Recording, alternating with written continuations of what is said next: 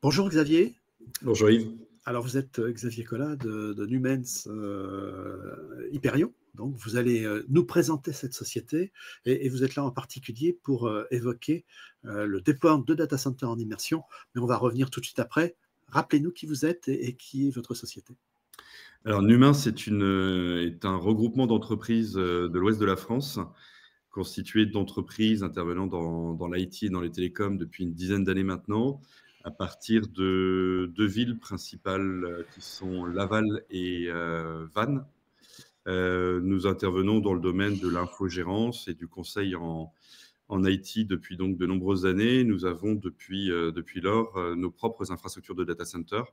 Et en fait, la, vision du groupe a été de rechercher des solutions qui soient à la fois performantes d'un point de vue service rendu à nos clients, d'un point de vue efficacité des data centers, mais aussi avec une vision une vision d'écosystème euh, français, d'acteurs euh, intégrés dans le domaine de l'infrastructure d'hébergement et de rechercher des solutions qui soient également moins, énergie, moins énergivores pardon, et plus performantes sur le plan environnemental. C'est comme ça qu'est née l'idée d'Hyperion, donc Hyperion qui est la start-up du groupe, du groupe Numens, et qui s'emploie depuis quelques années maintenant, après avoir euh, développé par elle-même cette solution d'immersion cooling, de refroidissement par immersion, de l'avoir testée, euh, l'avoir éprouvée en conditions opérationnelles, et qui maintenant la propose en termes euh, d'installation, d'installation sur site client, avec plutôt une vocation de data centers régionaux ou d'infrastructures utiles pour les collectivités, les PME, qui sont la base de notre clientèle. Mmh alors, ce qui est étonnant, c'est que vous touchez. Alors, un secteur qui est en train de, euh, j'allais dire d'immerger, pour parler d'immersion, c'est un peu particulier, mais en tous les cas, euh, qui, prend de l'ampleur, qui est celui du refroidissement par immersion, mais euh, on en parle souvent autour du HPC, etc. Là, vous vous attaquez également aux, PME et aux, structures plus petites, entre autres collectives. Oui, tout à fait. La raison en est que je pense qu'en matière de, souveraineté numérique, la maîtrise de la localisation des données est un facteur important. c'est un facteur qui est important pour les collectivités territoriales, mais aussi pour les entreprises qui souhaitent conserver la maîtrise de la localisation de leurs données dans leurs locaux, dans leurs infrastructures. de ce point de vue-là, effectivement, l'immersion cooling, qui a des bénéfices et des arguments très solides en HPC, peut tout à fait se démocratiser. Et il y a des arguments à cela, typiquement les facilités d'installation, euh, puisque euh, nos infrastructures ne nécessitent pas euh, de climatisation dans les salles, ce qui veut dire qu'on peut installer très rapidement et très facilement des systèmes d'immersion cooling, des, des, cuves tout simplement, aussi bien dans des locaux bruts de bâtiments tertiaires, mais également dans des infrastructures de bâtiments industriels. Tout à fait. Alors d'ailleurs, vous avez signé un contrat avec la communauté de communes de Lernay qui vous a commandé le déploiement de deux data centers. Alors déjà, euh, un, on expérimente, mais là, on y va deux d'un coup. Oui, je pense que je pense qu'on est mûr maintenant. Euh, on est mûr en immersion cooling. On a on a des solutions. On commence à avoir ce recul opérationnel et notre solution Hyperion, euh, comme on a pu d'ailleurs le montrer à, l'événement Data Center World en novembre dernier à Paris. Notre solution est assez aboutie. Elle est assez aboutie parce qu'elle a été créée, conçue par un acteur qui a l'habitude de l'exploitation des data centers. C'était notre métier, ça reste notre métier. Et de ce fait-là, effectivement, on, a, on a mis au point une solution complète euh, qui comporte également tout un tas d'éléments permettant euh, l'exploitation au quotidien, la supervision, le maintien en conditions opérationnelles euh, dans les meilleures conditions possibles. De ce fait-là, effectivement, on est très heureux d'avoir signé ce contrat avec la communauté de communes de Lernay, qui va être, nous le pensons, l'une des premières collectivités territoriales de France à déployer de l'immersion cooling et qui a fait le choix de déployer deux data centers. L'un qui sera localisé et qui va remplacer euh, son infrastructure au siège de la communauté de communes, et l'autre qui sera localisé à l'Aquafitness de, de Lernay euh, et qui permettra la réutilisation de l'énergie fatale, puisque c'est un des arguments forts également de l'immersion cooling que de permettre la réutilisation, dans notre cas, jusqu'à 90%. Alors, tout dépend des, des conditions aussi de, puissance informatique euh, hébergée, mais on a cette possibilité-là et c'est le choix qu'a pu, qu'a, décidé de faire la communauté de communes de Lernay et on s'en félicite. Oui, c'est un aspect environnemental qui est, important euh, et, on va revenir dessus. Euh, revenons un petit peu sur le projet initial. Mmh concernant donc la communauté de communes, euh, il faut quand même que votre client ait fait un sacré parcours pour imaginer mettre des serveurs dans du fluide. Autant les scientifiques, on le comprenne parce que c'est déjà une pratique qu'ils ont dans d'autres domaines. Euh, comment euh, l'acceptabilité de ce, de ce projet, de cette technologie, j'imagine vous avez dû travailler beaucoup avec eux. Oui, oui, il est vrai. Alors pour, pour vous confier effectivement et aller dans votre sens sur, sur l'étonnement, euh, une propre euh, anecdote personnelle, c'est que moi-même, et pourtant de formation euh, ingénieur en électronique, la première fois que j'ai vu effectivement l'immersion de composants électroniques, de systèmes informatiques dans un liquide, c'était pas naturel. donc en fait, la meilleure démonstration, ben, en fait, c'est de venir voir. on a la possibilité d'ailleurs de montrer sur nos infrastructures de Laval, qu'on va étendre d'ailleurs prochainement en termes de, euh, capacité euh, d'hébergement sur, euh, donc un, futur data center qui sera encore plus important en immersion cooling sur Laval. On a la possibilité de montrer tout ça aux personnes qui sont intéressées, à nos futurs clients. la proximité géographique de la communauté de communes de Lernay qui est située en Mayenne, hein, comme le, siège de l'entreprise, facilite les choses. C'était un client déjà depuis un certain nombre d'années et je pense qu'effectivement, euh, le fait de se rendre compte que ça fonctionne et que chez nous, ça fonctionne depuis plus de deux ans pour des services euh, de, type, euh, de type hosting, puisque nous hébergeons un, certain nombre de services depuis, depuis très longtemps maintenant, avec une centaine de VM hébergés pour le compte de clients qui souhaitent bah, nous confier le service d'hébergement sans forcément avoir l'infrastructure sur leur site, hein, puisqu'on a les deux modèles qui sont tout à fait envisageables avec Hyperion. Bah, ça a permis euh, progressivement euh, de, convaincre et de montrer que ça fonctionnait bien, voire que ça fonctionnait mieux. On est moins sujet à un certain nombre de pannes, hein, que ce soit les, ventilos des, serveurs ou que ce soit les climatisations des salles. On est beaucoup plus tranquille en termes d'inertie de fonctionnement, quand bien même on aurait des difficultés sur le circuit de refroidissement, parce que l'immersion cooling apporte également cette inertie euh, en termes de température de, de, fonctionnement. Et en fait, on se rend compte en l'expliquant ce qui est nouveau, effectivement, c'est de le proposer sur l'application et sur l'usage euh, informatique d'hébergement, mais que pour autant, le principe euh, euh, d'utiliser le, fluide, d'utiliser de l'huile pour refroidir des systèmes de puissance, eh ben, ce n'est pas nouveau. Ça fait des décennies dans l'industrie. les, gros les gros transformateurs électriques sont refroidis en utilisant de l'huile. Donc, il n'y a pas de raison que ça fonctionne aussi bien en matière d'hébergement informatique. Alors oui, en effet, et, vous faites bien de le rappeler, hein, l'industrie euh, pratique déjà cette technologie depuis très longtemps, voire même d'ailleurs les gros systèmes informatiques il y a encore 60 euh, ans, hein, ils étaient comme ça. Donc, euh, mais bon, revenons un petit peu sur ce projet malgré tout. Mmh Deux questions ont dû se poser, j'imagine, mais moi je, voudrais vous les poser parce que les gens qui ont étudié ce type de projet s'interrogent sur un euh, l'origine des fluides, est-ce que vous n'avez pas trop de difficultés à avoir des fluides et, à ce que ce soit des fluides de qualité? Et la deuxième question, c'est euh, est-ce que votre client n'a pas eu trop de difficultés à trouver les infrastructures informatiques à immerger dans les fluides? Très bonne question euh, qu'on nous pose souvent effectivement en matière de, d'écosystème, de filière, de vision globale et intégrée de la solution. Eh ben, écoutez, euh, en fait, sur ces deux plans, je vais commencer par, euh, le fluide. On a, euh, on peut dire maintenant, une structuration de, filières qui, se, développe autour de, l'immersion cooling. On a fait le choix de notre côté d'essayer de rassembler un, un, panel, une majorité d'acteurs français, des industriels français qui voulaient s'engager, puisque pour nous, et vous devez peut-être apercevoir les, trois coques euh, au-dessus de ma tête, mais euh, la souveraineté numérique est vraiment un sujet central et le fait de pouvoir designer et maîtriser euh, l'intégralité de notre système avec des acteurs français était également une, donnée importante. Et dans ce contexte-là, en ce qui concerne les fluides, nous avons travaillé avec Motul, qui est une entreprise française et qui a pu venir mettre au point, on va dire, finaliser sa R&D sur Hyperion de manière à avoir des fluides qui soient parfaitement qualifiés pour un fonctionnement optimum en immersion cooling, que ce soit sur euh, les paramètres, euh, bien évidemment, diélectrique du fluide, mais ça, c'est assez maintenant commun en ce qui concerne un certain nombre de, de fluides, mais surtout de viscosité, de comment dire, propriété qui donne cet effet caloporteur recherché pour la valorisation de, l'énergie fatale.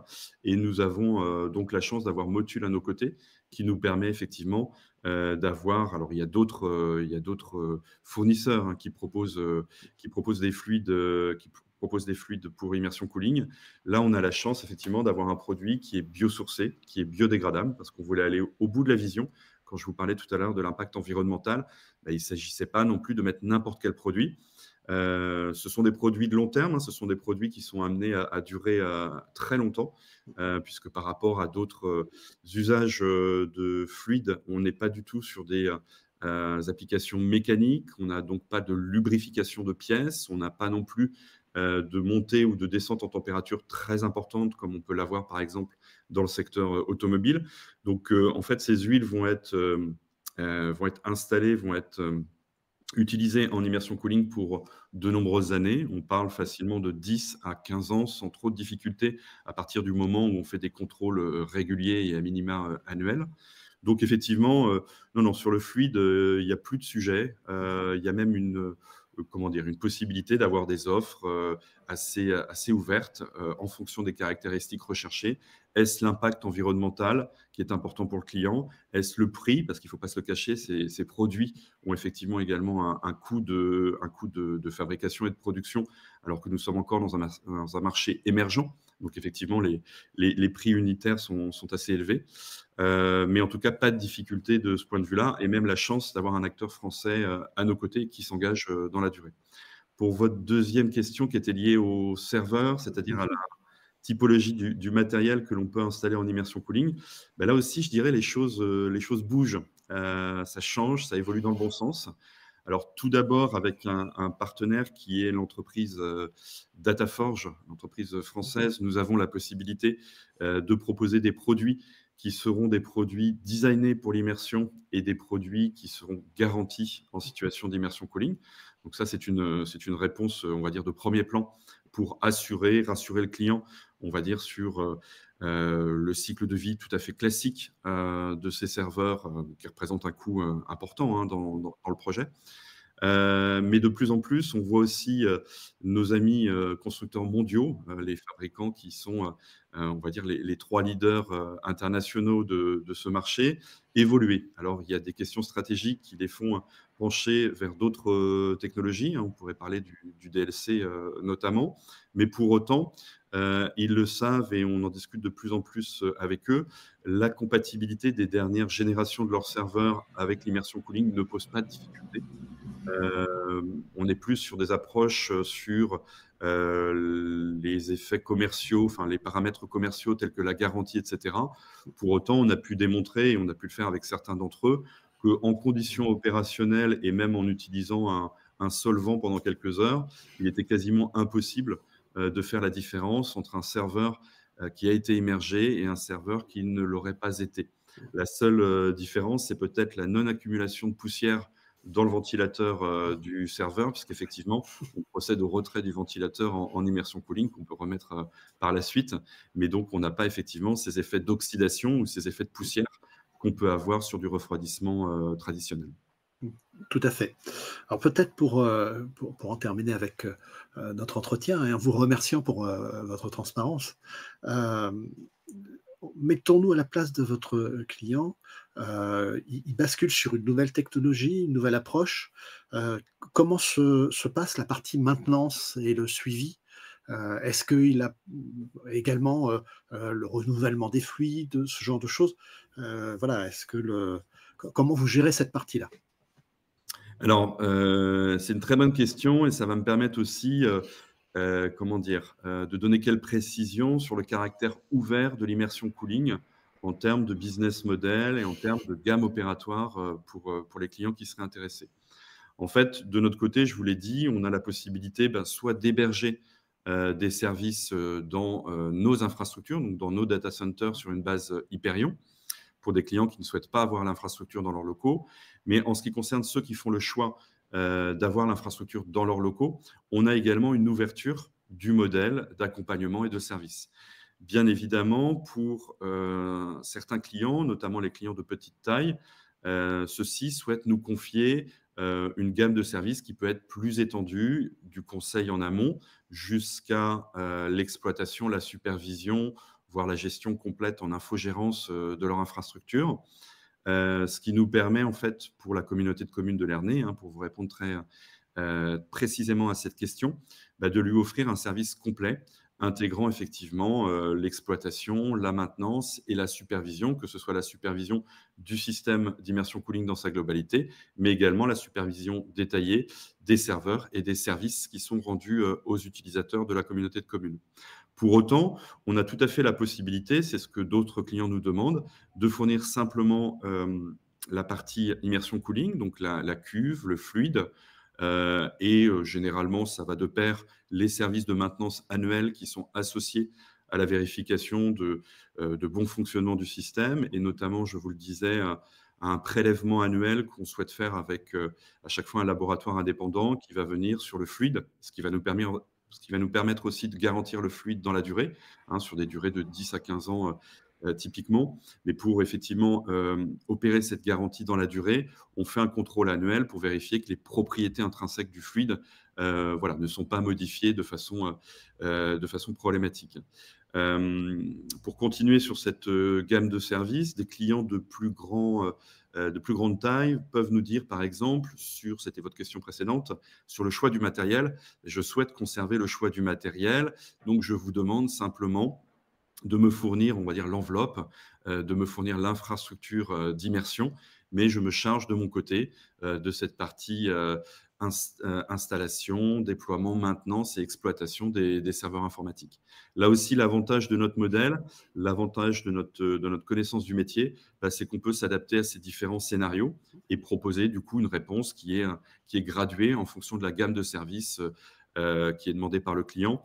Là où pour nous, par contre, il est important de ne pas, euh, comment dire, de ne pas descendre, j'allais dire, et c'est aussi un point de différenciation par rapport à d'autres acteurs de ce, de ce marché émergent, c'est qu'effectivement, euh, on est garant de la performance et de la qualité de nos installations, et donc effectivement, sur le déploiement ou sur la maintenance annuelle, on va souhaiter conserver effectivement un regard et un échange avec le client.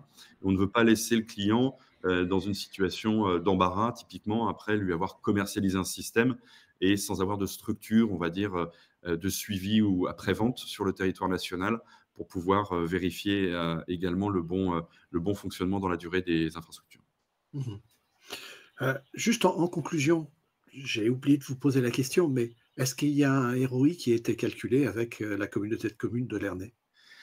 Alors, euh, il est effectivement, euh, il est calculé, il est établi, on va dire, sur, euh, sur des bases qui sont aussi des données ou des hypothèses, qui sont aussi des hypothèses pour certaines théoriques en termes notamment d'usage de la partie de la partie informatique. Et vous savez que la croissance des services numériques fait qu'il n'est pas toujours évident de maîtriser complètement ces hypothèses d'usage des services numériques. Donc effectivement, on a bâti euh, quelques hypothèses avec la communauté de communes de, de Lernay, mais je ne vais pas pouvoir vous en dire euh, beaucoup plus aujourd'hui de façon euh, détaillée. Par contre, je peux vous assurer que en situation de déploiement, parce que là on est en cours de déploiement avec la communauté de communes, une fois que les choses seront complètement installées et seront en situation de, de fonctionnement, on aura l'occasion de revenir vers vous et de pouvoir mmh donner à, la communauté des acteurs, on va dire, euh, intéressés par, le, sujet et par la technologie d'immersion cooling, des données très précises sur les résultats effectivement opérationnels. Je préfère plutôt communiquer comme ça avec des réalités objectives et mesurées qui correspondent à un retour d'expérience pour autant, ce que je peux vous dire, c'est qu'effectivement, en matière de, PUE ou en matière de retour sur investissement dans la durée, on sait très précisément sur quel terrain on avance. On, avance sur des terrains euh, qui sont quand même euh, très efficaces, avec des PUE systématiques, euh, systématiquement inférieurs à 1,1. Mais vous savez que le PUE n'est pas pour nous, acteurs de l'immersion cooling, un indicateur complet, puisqu'on ne prend pas en compte la réutilisation de l'énergie fatale. Donc, vous me verrez communiquer également sur d'autres d'autres indicateurs euh, qui, sont, euh, qui sont plus complets euh, de notre point de vue. Et sur le ROI, c'est un paramètre important. En fait, on est systématiquement avec l'immersion cooling, en tout cas avec Hyperion, sur des durées de retour sur investissement inférieures à trois ans. Ça, c'est du systématique. La plupart du temps, c'est inférieur à deux ans. Et dans certains cas de figure, c'est inférieur à un an. En fait, pour vous donner d'ailleurs une traduction et une petite ouverture en conclusion, l'immersion cooling est d'autant plus, comment dire, performante sur le plan économique qu'on est dans des contextes de pays chauds, qu'on est dans des contextes de coûts de l'électricité élevés. Et de ce fait-là, nous allons avoir très prochainement, c'est un autre déploiement qui est en cours, un démonstrateur en Afrique de l'Ouest, au Sénégal, à Dakar, euh, qui va nous permettre de démontrer euh, la rapidité de ce ROI dans des situations où effectivement il est à la fois aberrant climatiquement de refroidir des pièces à une vingtaine de degrés quand il règne parfois des températures de plus de 40 dehors, euh, mais c'est aussi une aberration sur le plan économique parce que quand on regarde les situations de coût euh, de l'énergie sur euh, certaines zones géographiques, on se rend compte qu'effectivement, passer à l'immersion cooling, eh ben, c'est faire aussi une bonne opération sur le plan économique et qu'on en voit la traduction très rapidement. Ben, merci Xavier. Je pense qu'on y reviendra. Hein. On, évoquera tous ces sujets, puisque ce sont des sujets d'actualité. Merci en tous les cas à vous. Et puis, ben, écoutez, à vous retrouver bientôt sur Data Center Magazine. Merci Yves et à très bientôt.